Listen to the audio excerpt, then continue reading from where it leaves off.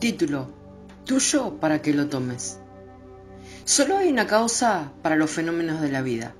Esa causa es Dios. Alojado en ti, Dios es una persona en el sentido más literal de la palabra. Créeme, pues yo sé esto por experiencia. Dios, el único creador, es pura imaginación obrando en la profundidad de tu alma. Dios comenzó una buena obra en ti y Él la llevará a término el día que el poder creativo de Dios se desvele en ti. El poder creativo y la sabiduría de Dios se definen en las escrituras como Cristo. Cuando Cristo se desvele en ti, sabrás que tú eres el poder de Dios y la sabiduría de Dios.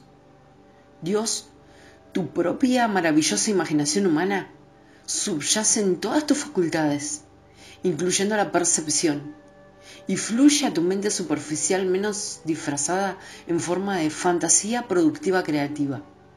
Cuando tú te preguntas qué puedes hacer para trascender tu actual limitación de vida, estás insistiendo en los medios. Dios no te pide que consideres los medios, sino que definas el fin. Hablándote por medio del deseo, Dios hace la pregunta, ¿qué quieres tú de mí? Entonces, Él te dice que no te preocupes por la manera y los medios, pues sus caminos son impenetrables, son inescrutables e inalcanzables. Esta afirmación la encontrarás en el capítulo 11 del libro de Romanos. Así que no estés preocupado por cómo Dios cumplirá el fin.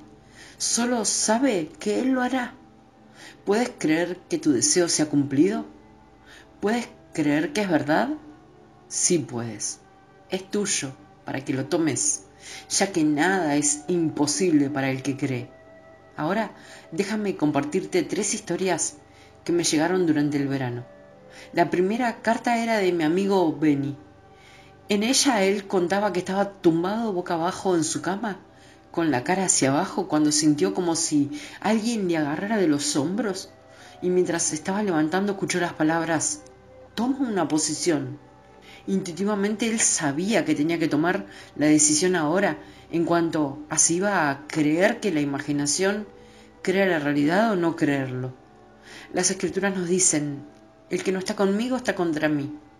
No hay terreno neutral, pues no he venido para traer paz, sino espada, para poner al hombre contra su padre y a la hija contra su madre.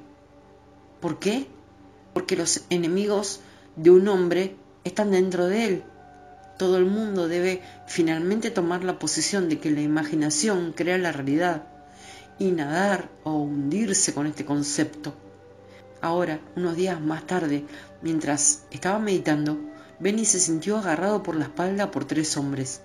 A medida que le levantaban, él vio salir el sol y escuchó las palabras Mira, observa y reconocimiento recordó un pasaje de mi libro, Tu fe es tu fortuna. El reconocimiento de esta verdad te transformará de alguien que trata de hacerlo así en alguien que reconoce que es así. Poco después de esto, un amigo le pidió a Ben que orara por él. Él quería ser el administrador de la propiedad de la compañía para la que trabajaba. A pesar de que había estado dejándolo pasar año tras año, Benny le dijo qué hacer e imaginó que oía al amigo decirle que el trabajo ahora era suyo. Unos meses más tarde el trabajo estuvo vacante y a su amigo se le dio el puesto junto con un aumento de sueldo y mayor responsabilidad, tal como él había imaginado. ¿Qué hizo Benny? Imaginó. ¿A quién le oró? A su propia maravillosa imaginación humana. Dios el creador de toda vida, es como pura imaginación en ti, subyacente en todas tus facultades, incluyendo la percepción. Él fluye en tu mente superficial menos disfrazado en forma de fantasía productiva. Benny tomó una posición. Él oró por su amigo y creyó que su oración fue respondida. Él se puso a prueba y las ventanas del cielo se abrieron y derramaron bendiciones para que todos las vieran. Ahora Beni sabe que con Dios todas las cosas son posibles. Dios es tu yo más poderoso, vaciándose de sí mismo. Dios tomó la forma de un esclavo y ahora se encuentra a semejanza de hombre, abdicando de su poder, de pura imaginación, Dios tomó sobre sí mismo las limitaciones de la carne, convirtiéndose así en humano. Es Dios quien teje cada deseo tuyo, en realidad cúbica, sirviéndote eficaz y rápidamente, independientemente de si tu deseo es para mal o para bien. El que evoca pensamientos en la mente de un Hitler o un Stalin es el mismo poder que el que evoca pensamientos en la mente de un papa o del arzobispo de Canterbury. No hay dos dioses, solo hay uno. Los capítulos 14 y 53 del libro de los Salmos son idénticos. Cada uno nos dice, el necio dice en su corazón que no hay Dios, pero el Señor mira desde los cielos sobre los hijos de los hombres para ver si hay alguno que actúe sabiamente y busque al Señor. Aquí encontramos que a los ojos de Dios la sabiduría es equiparada con la búsqueda del Señor. Y si Dios es omnisciente y todopoderoso, entonces cualquier otra búsqueda que no sea la del Señor es estúpida. Tú puedes ser el matemático o el científico más grande, el hombre más inteligente y honrado entre los hombres, pero si tu búsqueda no es la de Dios, eres estúpido ante sus ojos. Llamado a buscar la causa de la creación, ¿qué estás haciendo perdiéndote en los fenómenos de la vida? Cuando algo suceda, examina tus pensamientos y descubrirás que tu propia maravillosa imaginación humana es la causa de tu experiencia, porque Dios es una persona. En el momento presente, Él está usando una máscara llamada Neville, pero el que te está hablando ahora sabe que Él mismo es el anciano de los días. Cada ser en el mundo es una máscara usada por Dios, pues alojado en el hombre, Dios, es la imaginación del hombre. Un pensamiento en acción es un acto imaginativo. Piensa, imagina, un terremoto horrible y Dios te lo dará. Imagina, piensa en una guerra y Dios te proporcionará eso también. Imagina la paz y la tendrás. Dios te dará salud si tú quieres, pero primero has de imaginarte estando sano. Imagina el éxito y lo tendrás. En el momento que tú piensas, estás alimentando a tu imaginación, que es una persona. Utiliza la palabra persona deliberadamente, ya que tú eres una persona. Tú eres la máscara que Dios está usando ahora, pues Dios se convirtió en ti para que tú puedas convertirte en Dios. Ahora déjame compartir otra carta. El año pasado esta señora, que vive a unas 60 millas al norte de San Francisco, fue poseída por el deseo de venir a Los Ángeles y asistir a mi conferencia. Dejando un aviso en su oficina, ella condujo su coche hasta el aeropuerto de San Francisco, donde tomó un avión hacia Los Ángeles. Allí se encontró con una amiga e inmediatamente vino a la conferencia. Después de la conferencia, ella se unió a un grupo de cuatro mujeres y un hombre para tomar café y dijo que tenía hambre, no habiendo almorzado ni cenado ese día. El señor que estaba sentado a su lado dijo entonces, me gustaría invitarle a un bistec. Cuando ella lo miró a la cara oyó una voz dentro suya decir, este es tu marido. Ahora esta señora se ha casado y divorciado cuatro veces, así que tuvo deseos específicos de un marido que ella sintió que debía cumplirse. Quería estar felizmente casada con un hombre que viviera por esta verdad, que siguiera las enseñanzas de Neville. Ella quería que él la amara y la respetara así como a su hijo de 17 años. Habiendo imaginado un hombre así en septiembre, ella asistió a mi conferencia en octubre y se casó con el señor que conoció aquí en enero del año siguiente. El señor añadió su historia a la carta diciendo, el señor añadió su historia a la carta diciendo, habiendo jugado con la idea de estar casado, me fui a una casa de empeños el pasado septiembre y compré un anillo de oro liso que me puse en el dedo anular de la mano izquierda. Todos los días yo llevaba puesto el anillo y todas las noches me dormía con la sensación de estar felizmente casado. Mi amigo creyó que él no podría alcanzar la sensación de estar casado sin una ayuda física, pero no necesitas nada fuera de tu imaginación para alcanzar el estado de ánimo. Habiendo sido un alcohólico, este señor imaginó que su esposa nunca aludiría a su pasado, pues aunque no había probado el alcohol durante nueve años, él había pagado el precio de su búsqueda de Dios. Como puedes ver, el alcohólico está buscando la verdad.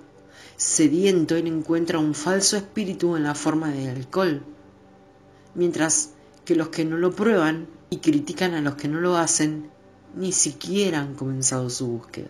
Pero tengo noticias para ellos. Un día ellos también conocerán un hambre que no se satisface con pan. Conocerán una sed tan grande que cometerán el error de vestirla en la forma de una botella. Pero debido a que será una falsa sed, la sed permanecerá. Entonces descubrirán el verdadero hambre y la verdadera sed, que es por escuchar la palabra de Dios.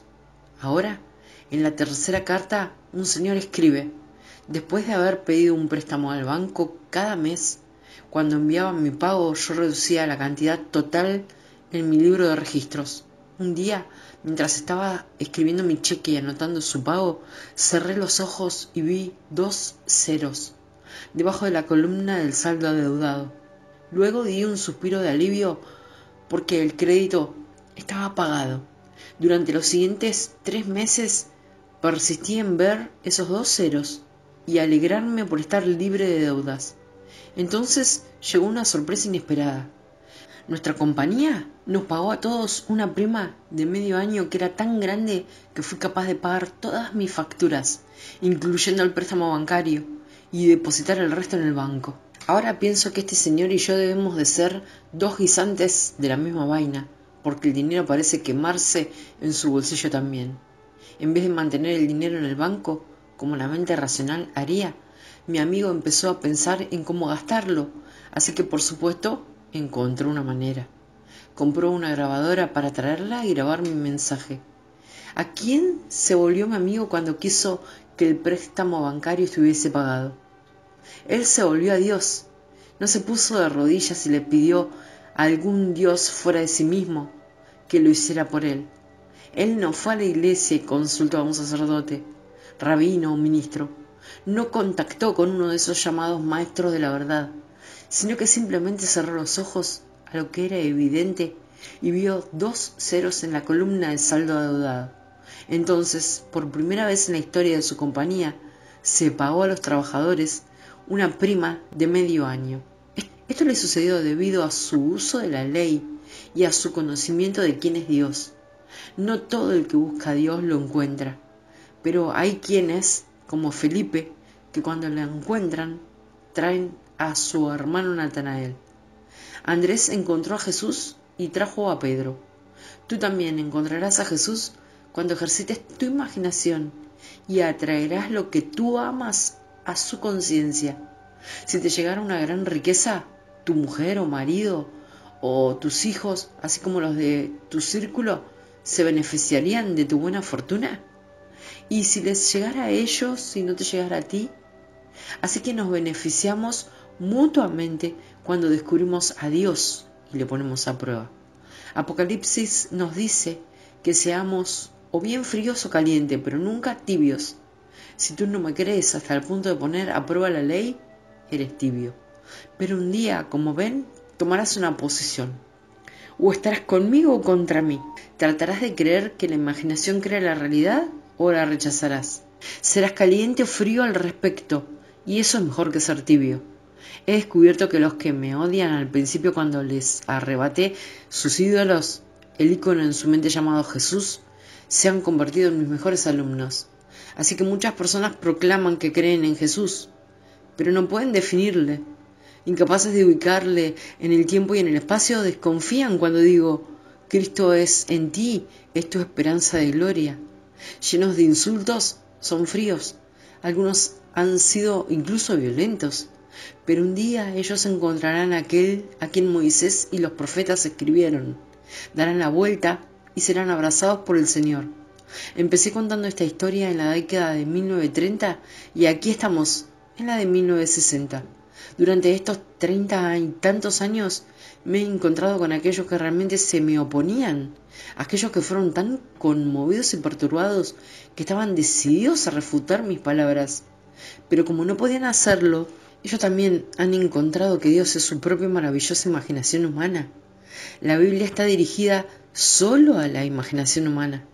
En la famosa carta de Blake al reverendo doctor Trusler, él hace el siguiente comentario. ¿Por qué la Biblia es más entretenida e instructiva que cualquier otro libro? ¿No será porque se dirige a la imaginación, que es sensación espiritual, y solo inmediatamente al entendimiento o a la razón? La Biblia es una enseñanza imaginativa. Cuando se despliega en ti es más real que cualquier cosa, sin embargo es toda imaginada, pues Dios es todo imaginación y también lo es el hombre. El cuerpo eterno del hombre es la imaginación. Y eso es Dios mismo. No hay nada más que este único cuerpo llamado Jesús, que es el Señor Dios Jehová. Yo te digo, Dios se hizo como nosotros somos del modo que nosotros podamos llegar a ser como Él es.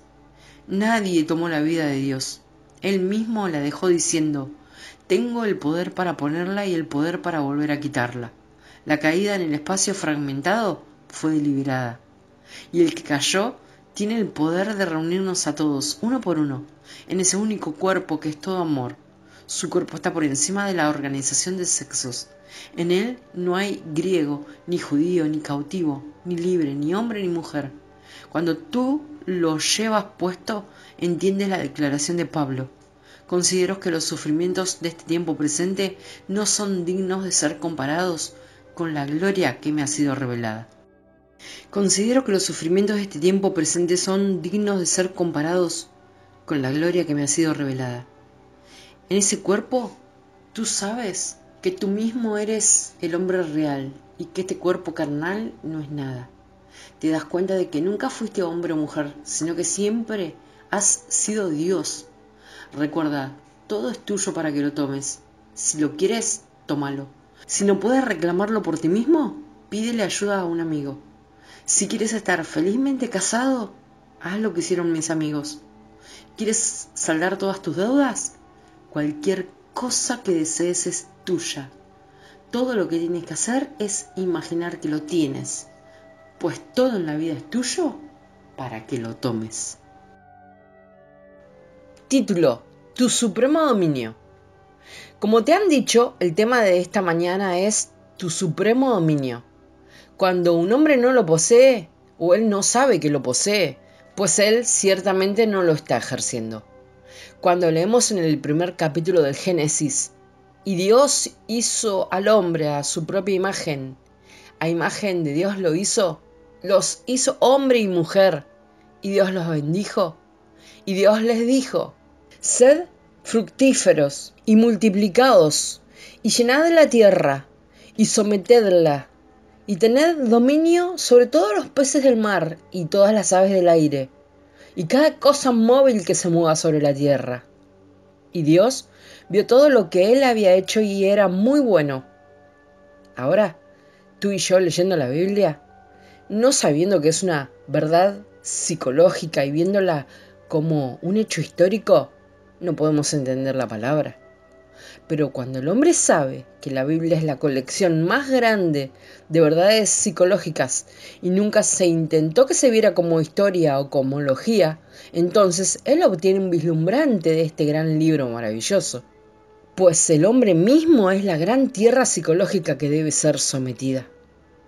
En el hombre se mueven todas las pasiones, todas las grandes emociones simbolizadas como cosas reptantes y animales en la profundidad del hombre efectivamente viven los estados invisibles simbolizados como peces.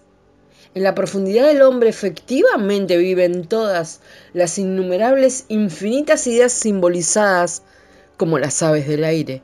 Es este hombre el que debe ser autosometido, pues sometido. Entonces viene la promesa y tiene dominio sobre este vasto país maravilloso que es el hombre. Si el hombre no sabe que él mismo es la tierra de la que se habla, piensa que él debe salir al mundo y conquistarlo. El mundo refleja la obra hecha sobre el hombre. Y así, cuando él mira este maravilloso mundo alrededor de él, se cree tan pequeño. La Biblia también nos dice que él se llama a sí mismo un saltamontes, y refiriéndose a él mismo como un saltamontes, ve gigantes en la tierra, los gigantes de la industria, los gigantes de la economía, los gigantes a todo su alrededor, y se siente cada vez más pequeño porque no sabe cómo hacer realmente para someter la tierra, que es el mismo. Cuando el hombre lo sepa, se dará cuenta de que el hombre, como individuo, es supremo dentro del círculo de su propia conciencia, pues dentro del círculo de su conciencia el drama entero de la vida es representado una y otra vez. Él tiene que empezar consigo mismo y luego él verá que este maravilloso mundo externo, este mundo visible, no es lo que él piensa que es, un lugar de exilio de Dios. Es la vestimenta viviente del Padre, y aunque para muchos de nosotros su discordante armonía necesita alguna interpretación, para el sabio tiene una voz, y la voz habla de cosas escondidas detrás del velo de la mente del hombre, pues todo este vasto mundo maravilloso es una respuesta a la disposición de la mente del hombre, pues cuando él lo sepa, buscará dentro las causas escondidas, mirará en la profundidad para ver los peces y como ellos nadan y como ellos están relacionados, pues esta disposición de la profundidad va a proyectarse como las circunstancias y condiciones de la vida. Y así hoy, si tú no has empezado, hoy es el momento para empezar a realmente poner en práctica esta enseñanza y hacer de esta violencia un jardín de Dios es llamado Edén, y el hombre fue colocado dentro de él para conservarlo y cuidarlo, pues el jardín de Dios es el hombre, es la mente del hombre. Tú nunca encuentras un jardín a menos que un hombre esté presente, pues sin un hombre habría un bosque de maleza, pero cuando un hombre es colocado en él, comienza a cultivar los árboles o las semillas de pensamiento equivocado. Él limpia la tierra y la cultiva y luego planta sabiamente entonces tendrás el dominio, pues seleccionarás las semillas que plantarás, las ideas que sostendrás y las cultivarás. Sabiendo que el mundo externo constantemente da testimonio de la disposición interna de la mente, tú seleccionarás solo las cosas que tú quieres proyectar en el ropaje viviente de tu padre. Pues todo el vasto mundo a tu alrededor es un ropaje viviente vestido por tu padre. Entonces, ¿cómo cosechó? Él dijo que hizo al hombre a su propia imagen. Bueno, los métodos de conocimiento mental y espiritual son enteramente diferentes. Tú y yo podemos conocer una cosa mentalmente mirándola desde afuera, comparándola con otras cosas, analizándola, defendiéndola, incluso dando una descripción de ella. Pero solo podemos conocer una cosa espiritualmente convirtiéndonos en ella. Debemos ser la cosa misma si queremos conocer esa cosa espiritualmente. Debemos estar enamorados si queremos conocer el amor. Debemos ser como Dios si queremos saber lo que es Dios. Pues Dios me hizo no de algo distinto del mismo, Él me hizo perfecto. Así que Él me hizo convirtiéndose en mí. No hubo otro modo en el mundo en que Dios pudo haberme hecho a menos que Él se convirtiera en mí de modo que Dios se convirtió en el hombre para que él pudiera conocer al hombre del único modo en que él puede conocer algo, pues él conoce todas las cosas espiritualmente y él las llama muy buenas. Así, Él me hizo convirtiéndose en mí, y ahora yo soy llamado a ir y tener cuidado de la tierra y a someterla y tomar el dominio. Y yo soy la tierra, yo debo aprender a plantar como Él plantó y Él plantó el mundo convirtiéndose en el mundo. Yo debo ahora plantar como hombre, convirtiéndome en el hombre que yo quiero ser. Así yo detallaré todas las cosas nombrándolas dándole un nombre a cada cosa que yo quiero expresar como hombre y luego conocerlas espiritualmente convirtiéndome en ellas, como Él se convirtió en mí me identifico con ellos y vivo en esa identidad. Y las visto de carne y las visto de hechos. Ninguna cosa en el mundo que sea mía me puede ser quitada, salvo despegándome del estado donde esa cosa que yo amo tiene su vida natural. Si yo vivo en un mundo de belleza, si yo vivo en un mundo de amistad, de comodidad y todas las cosas agradables que los hombres disfrutan, ningún poder en el mundo puede quitarme ni una de ellas salvo que yo que vivo entre ellas me despegue del estado donde esas cosas agradables tienen su vida natural. Como tú y yo lo sabemos, empezamos a cultivar la tierra. Efectivamente, deservamos la mente de todos los estados negativos, todas las emociones desagradables y traemos a sujeción no lo externo, sino lo interno. Y entonces lo externo refleja ese cultivo sobre sí mismo. Ahora, ¿cómo se hace esto? Se te dice en el primer libro de la Biblia cómo se hace, pues la promesa es que el hombre que lo hace y es una completa expansión más allá de sus sueños más locos del estado que él planta. El primero que lo hizo fue llamado Jacob, pues yo soy Jacob, tú eres Jacob si empiezas a plantar. Cada hombre es el Jacob potencial y Jacob lo hizo por la justicia. Como se te dice, él lo hizo a través de la justicia y se multiplicó extremadamente, de modo que él aumentó mil veces sus rebaños, su ganado aumentó y creció más allá de la medida del hombre teniendo todas las sirvientes, sirvientes y camellos. Y esto es lo que él dijo, mi justicia hablará por mí en el tiempo por venir. Justicia es justa conciencia. La única recta conciencia es la conciencia de ya ser el hombre que tú quieres ser, pues eso te apega a un estado invisible. Tú no puedes verlo, pero sin embargo, tú te vuelves apegado al estado en que te atreves a asumir que estás y vas a pescar en la profundidad. Estás comenzando ahora a someter la profundidad. Entras en un estado por medio de la sanación, de la sanación de que ya eres lo que tú quieres ser. Y así es como te haces extremadamente grande en tu mundo, pues serás el Jacob expandiéndose en tu mundo. Al siguiente al que llegamos es a Job. Aquí en medio de todas las pruebas y tribulaciones de un hombre, Job dice, me adheriré a mi justicia y entonces mi corazón nunca me juzgará duramente en tanto yo viva. Él se adherirá a la justicia en medio de la tormenta. En medio de todos los problemas del mundo, él asumirá que es libre y se adherirá a esa recta conciencia, sabiendo que ni en la eternidad podría su corazón nunca juzgarle duramente. Luego se nos dice, el manso de la tierra busca justicia y es el manso de la tierra quien la tierra es dada. Cuando se te dice que el manso heredará la tierra, es posible que te hayan enseñado a creer que significa el hombre golpeado, el hombre que cae y se arrastra como el saltamontes. No lo es. La palabra manso traducida realmente significa ser domesticado, como un animal salvaje domesticado. Para el hombre que domestica la mente, el hombre que domestica su ser para que pueda ponerlo en cualquier tarea y tenerlo ejecutando esa tarea, ese hombre es manso y el manso hereda la tierra.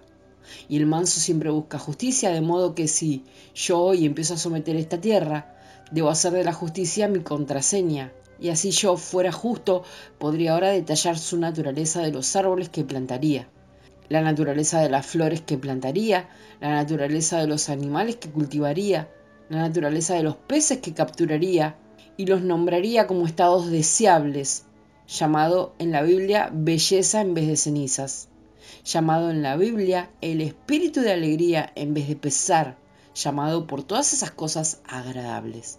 Como se te dice, todas las cosas que son buenas habitan en esas cosas. Para cada cosa buena, pues Él las llamó muy buenas, cada cosa que yo llamaría lo bueno, que es un juicio justo, será el juicio correcto.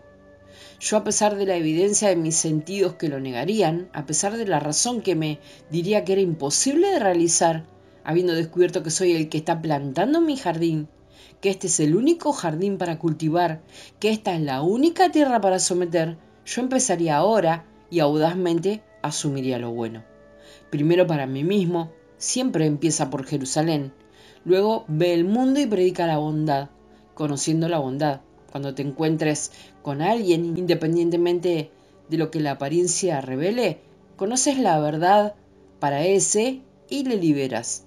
Sabes eso conociendo como él debería ser, conociendo primero por él mismo, pero si él no lo ha conocido como verdad en sí mismo, tú al menos la conoces por él. Y aunque tú nunca lo encuentres en carne otra vez, sigue conociendo la verdad que libera al hombre, sabiendo que él es ya libre y entonces estás cultivando tu jardín. Tú lo estás trayendo a sujeción, lo estás sometiendo y entonces tendrás el dominio.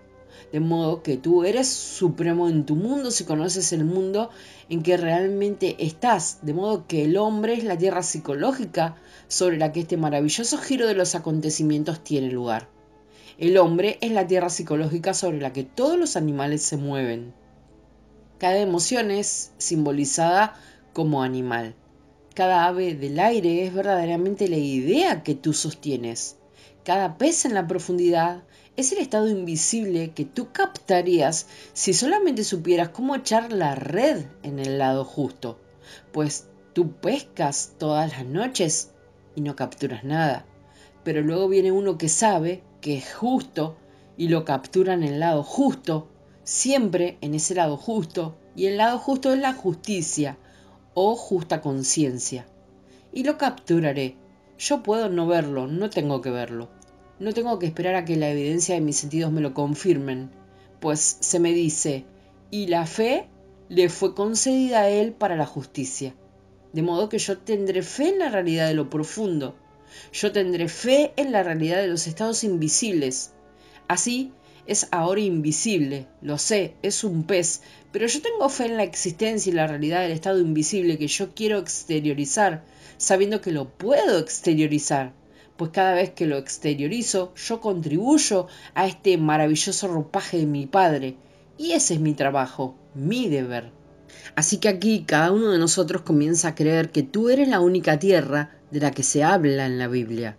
Tú eres el único elegido para vivir en el centro del jardín.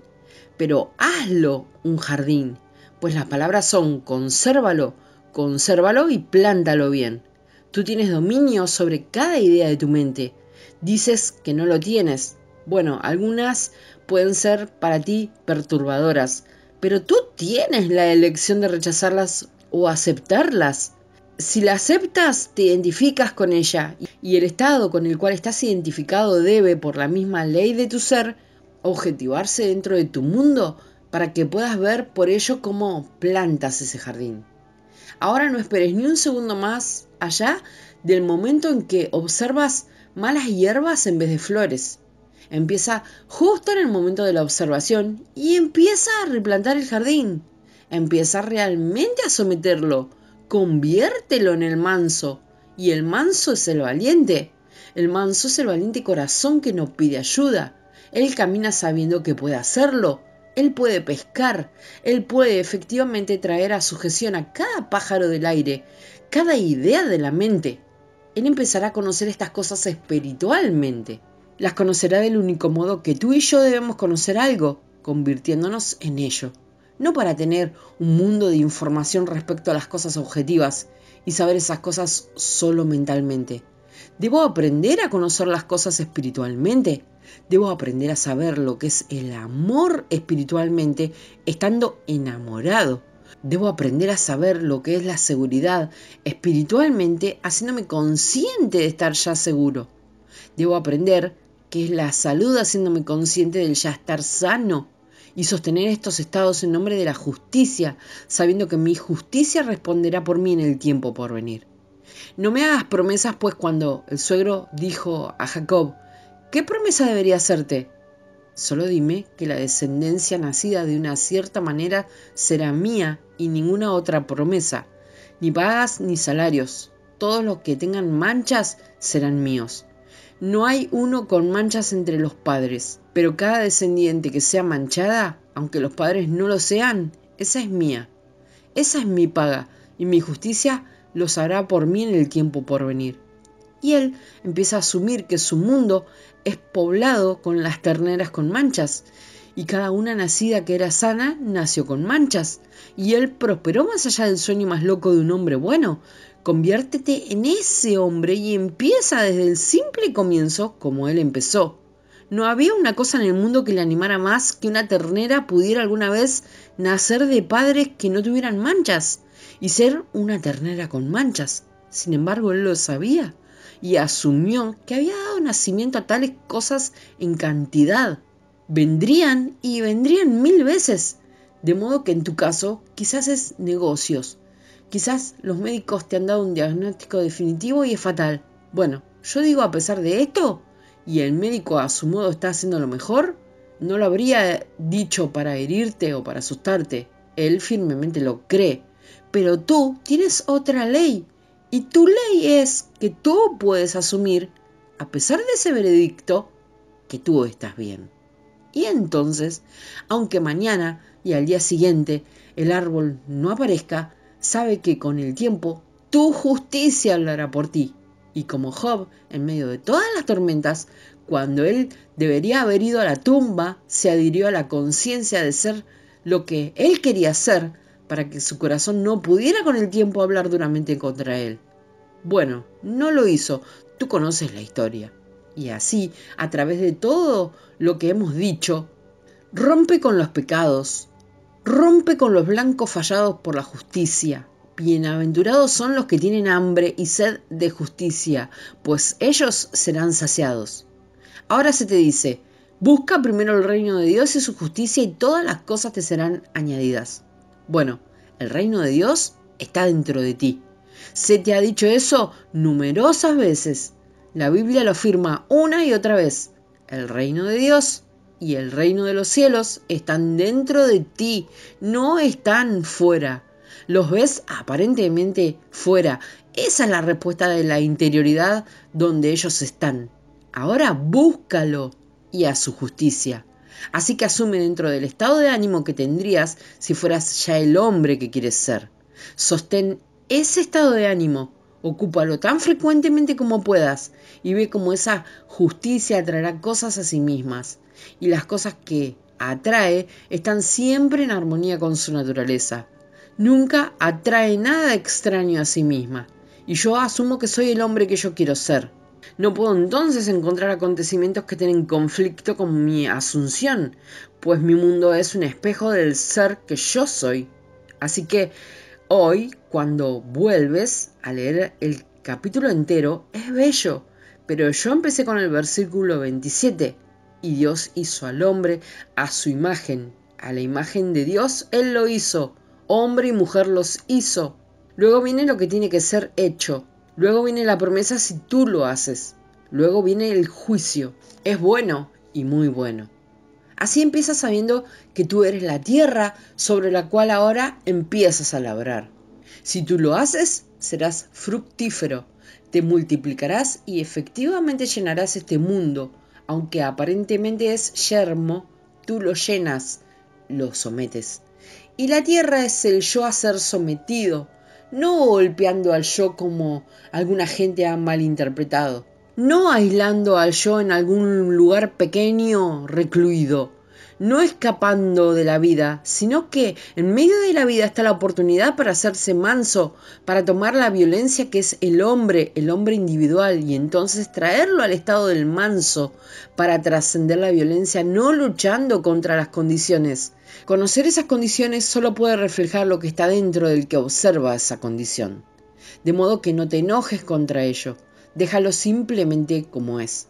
Si las condiciones siguen siendo las mismas, eso es una señal segura, segura de que no has sido fiel a la justicia. Si hubieras sido fiel a la conciencia de ser ya el hombre que quieres ser, las condiciones tendrían que haber cambiado en armonía con esa justicia. De modo que no te enojes contra ello, déjalo como es y empieza hoy a tomar esa maravillosa tierra que es el reposapiés del Señor, que realmente es la mente del hombre y empieza a trabajar realmente en ella. Entonces no te volverás de izquierda a derecha, mantendrás el estrecho camino. Saldrás sabiendo que puedes hacerlo. Yo sé por experiencia que no tardará mucho en ver los brotes aparecer, no tardará mucho ver las flores aparecer. Aparecerán todas. Si te vigilas a ti mismo y por una observación acrítica de ti mismo, observarás el ser que eres. Ve la condición de la tierra como es ahora por la observación acrítica de tus reacciones a la vida. Cuando ves quién eres tú, eso te está mostrando el estado de la tierra como es ahora. No lo condenes, simplemente empieza a someterla. Y sabe que tú tienes dominio sobre los peces del mar, las aves del aire y todos los animales que se mueven sobre la tierra, sabiendo que son los modos de pensamiento, los deseos, las pasiones que se mueven en ti, empieza a mantener solo lo bueno y lo muy bueno. Habita en ellos y repoblarás tu tierra, pues tú eres supremo dentro del círculo de tu propia conciencia. Ahora tú puedes decir que es muy pequeña. Puedo decirte que aunque tienes un cuerpo y una vida tuyos propios, estás enraizado en mí y terminas en mí, como yo estoy enraizado en Dios y termino en Dios. Así, cada hombre puede decir lo mismo. No importa si miras a un mundo de 2.500.000 de ellos y cada año escapan a través de las puertas al estado invisible respecto a este mundo. Pero mientras van y vienen, cada hombre en el mundo está efectivamente enraizado en ti y termina en ti. Y tú estás enraizado en el último, que llamamos Dios Padre. De modo que todo el vasto mundo está simplemente centrado en ti. Empieza a reordenarlo ahora, que pueda reflejar la belleza sobre y en lo que quieres vivir en este mundo. Hazlo asumiendo lo mejor. Siempre imagina lo mejor de ti mismo. Siempre imagina primero con Jerusalén y luego sal e irradia lo que te has dado a ti mismo. Si vives en ese maravilloso estado tú mismo, solo tendrás lo bueno para derramar sobre los demás, pues tienes un regalo que es verdaderamente tuyo para dar, y ese es tú mismo. No tienes otro regalo. Si eres bueno, puedes dar solo lo bueno. Si no lo eres, bueno, lo que tú eres, eso das. Así que la historia es que tú puedes encontrar hoy, cuando te observes a ti mismo, observando tus reacciones, que no es una tierra muy agradable, pero es aún tierra fértil. Puede ser limpiada de todos esos árboles de pensamiento tradicional erróneo y puede ser replantada en armonía con la belleza que tú deseas. Y en el presente inmediato dará fruto en armonía con las semillas que plantas. Así que salgamos decididos a llevar a cabo una mejor disposición de nuestra mente para que podamos producir ropajes más nobles para que nuestro Padre los vista pues este maravilloso universo objetivo visible es solo el ropaje viviente de nuestro Padre, no es un lugar de exilio como tantos creen, hablando sobre casa y su ir a casa, como si ellos no estuvieran ahora en medio mismo de su Padre. Cuando tú me ves, ves a mi Padre. Cuando quieres que me veas, ves el estado de mi mente, pues verás el mundo en el que vivo y el estado de mi mente, esa disposición interna. Eso es mi Padre. Cuando tú me ves proyectado, entonces lo llamas el hijo y mi mundo a mi alrededor me dice dónde estoy. Todos esos estados internos son lugares en esta fabulosa conciencia psicológica. Estado interno es igual al lugar y donde yo estoy dentro de mí mismo determina lo que veo cuando miro fuera de mí mismo. Así, cuando yo miro al mundo, esa área de ropaje de mi padre, sea desgarrado en razón el lugar interno donde estoy, o sea agradable, yo solo veo la disposición interna de mí mismo. Yo estoy siempre rodeándome con la verdadera imagen de mí mismo, y lo que soy en conciencia, eso es lo que puedo ver. Sabiendo eso, déjame estar decidido hoy a buscar la justicia, a la justa conciencia, para que pueda recoger en el presente inmediato todas las cosas agradables que yo deseo. Ahora, como resumen, detalla algún fin noble en la vida, habiéndolo definido claramente para ti mismo como un estado deseable, el estado que te gustaría exteriorizar. Hazte esta pregunta muy simple. ¿Cuál sería la sensación si fuera verdad que yo hubiera encarnado ya ese noble estado? En respuesta a tu pregunta, vendrá una sensación. Asume esa sensación. Tiene realidad fuera del mundo presente su existencia está en completa independencia del hecho objetivo presente. Tiene estructura real. Tiene realidad en la profundidad de ella. Vino en respuesta a tu llamada cuando dijiste, ¿cuál sería la sensación si fuera verdad? Y nombraste lo que estaba pensando. Si era seguridad, si era salud, si era cualquier estado. Ese pez vino de la profundidad. Está localizado y tú tomaste el yo y lo colocaste en esa sensación. Estabas efectivamente sobre ella, aunque es invisible. Ahora permanece en ella. Si permaneces en ese estado, se te dice en la Biblia, tres días serás arrojado en tierra seca. Tres no significa tres días, tres significa plenitud, completo. De modo que si yo viviera dentro de ese pez durante tres días, hasta que todo pareciera natural y real, y tuviera la viveza sensorial de la realidad, yo sería entonces arrojado como algo objetivo y algo que es comúnmente llamado en la Biblia tierra o tierra seca. Pero tiene realidad, ya que tú lo sientes, solo que la gente sale de él porque no tiene un hecho o objetivo inmediato para confirmarlo. Pero tú monta en él durante tus tres días y sabrás que era entrar en ese pez y permanecer en él hasta que la plenitud fue alcanzada, hasta que la realidad fue alcanzada dentro. En ese estado tú fuiste justo y tu justicia habla por ti en el tiempo por venir. No fallará, no puede fallarte. En todos sus libros y conferencias, Neville nos da la fórmula para la plegaria correcta. Esta fórmula es tan sencilla como suponer el sentimiento de lo deseado, pero puede implicar más. Este documento trata de juntar los diferentes aspectos de la plegaria correcta. Orar es la experiencia más maravillosa que podemos tener, diferente a los murmullos diarios de la mayoría de la humanidad que tratan con repeticiones vanas de, ganar la atención de Dios. La plegaria es el éxtasis de la unión espiritual que ocurre en la tranquilidad profunda y silenciosa de la conciencia. Neville. La plegaria es reconocerse como la persona que ustedes desearían ser en lugar de rezarle a Dios para que les conceda lo que desean. Si sus oraciones no tienen respuesta es porque algo está mal en ellas. El error general se encuentra en que hay demasiado esfuerzo. Se produce una seria confusión cuando el hombre identifica la oración con un acto de voluntad. La regla principal es no esforzarse. Si se hace de esa manera conseguirán intuitivamente la actitud correcta. El centro del proceso es crear un estado mental donde sientan que ya tienen todo lo que desean sea que quieren una posesión física o algo de carácter o de unión con su ser interior, usando tu imaginación, usando su imaginación e ignorando todo lo que le dicen en contra de sus sentidos físicos, asumiendo, suponiendo en su imaginación mentalmente que ya lo poseen.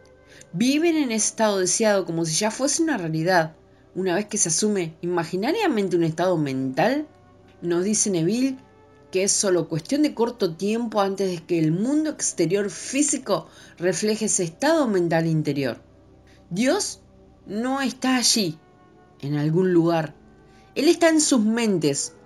Él está soñando que es ustedes. Neville.